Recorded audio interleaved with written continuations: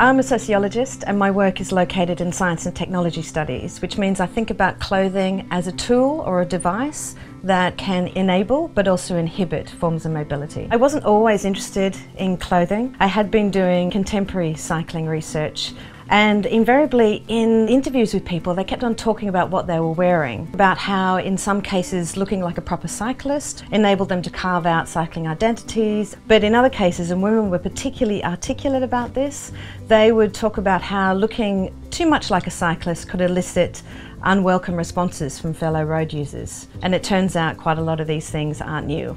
I've been looking at a really small period of British history, 1895 to 1899, when lots of uh, middle and upper class men and women enthusiastically took to the bicycle. However, it was considerably easier initially for men to take to the bicycle because their bodies, society's understandings about masculine mobility and public space, and also their clothes meant their bodies fitted much more easily. And this is pretty much a story about how women made their bodies fit with this new technology because nothing was going to stop them from cycling. Anyone who cycles now can imagine um, what it might have been like to have you know, layers of flapping materials around moving mechanical parts. However, to cycle in more kind of rational clothing um, was not necessarily socially safer. Some women cyclists were subjected to rocks and sticks and stones.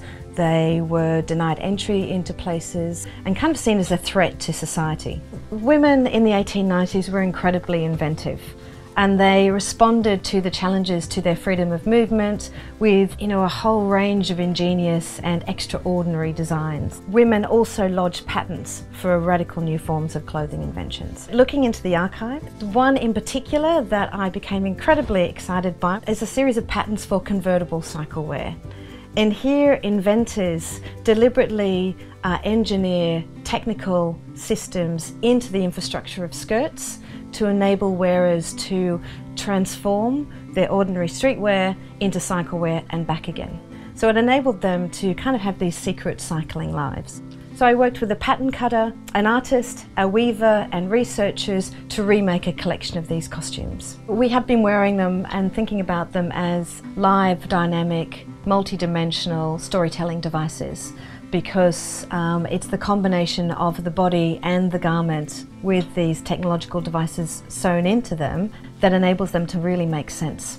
So I'm wearing a patented design by Alice Louisa Bygrave. She lodged her UK patent in 1895 and it was for improvements in ladies' cycling dress. From the outside it looks like a really simple A-line skirt and yet um, built inside, the infrastructure of it, in the waistband, in the seams, in the hems is a secret convertible system which would clear all of this material um, from the ground and potentially from flapping around into the moving parts of your velocipede. The same thing is built into the back so in effect then, you'd be wearing your bloomers underneath, but they're not too much on show, um, and it keeps the, um, all the materials out of the way of the wheels, and also creates what she called um, a garment that festooned over the hips.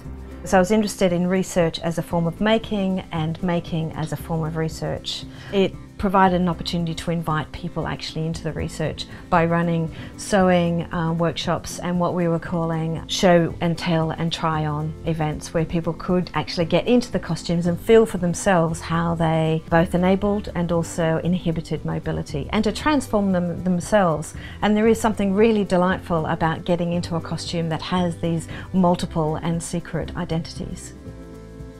What's fascinating to me is that their designs were concealed. They were deliberately built into the infrastructure of dresses, kind of hidden in plain sight. And I think this is why, one of the reasons why we don't know a lot about these designs now.